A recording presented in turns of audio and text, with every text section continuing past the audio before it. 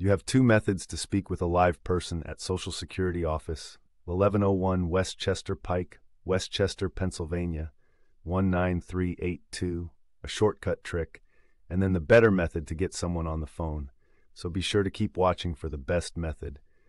Dial asterisk 101 pound to skip the automated messages and reach a live representative. Now, the next method is the better way to reach a live person at Social Security Office 1101 West Chester Pike, West Chester, Pennsylvania 19382.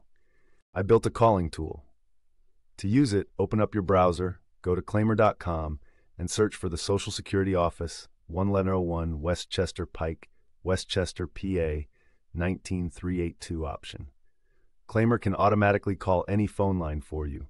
It'll connect you directly to a human at Social Security Office 1101 West Chester Pike, West Chester, PA 19382. It dials the number and stays on hold for you while it waits for an agent to take the call. When it detects an agent, it'll send the call to your phone. And here is Claimyr sending me a callback from Social Security Office 1101 West Chester Pike, West Chester, PA 19382, with an actual agent on the line. It is a paid version, but it definitely works. You can see a lot of reviews of it with a quick Google search. Let me know in the comments how it worked for you.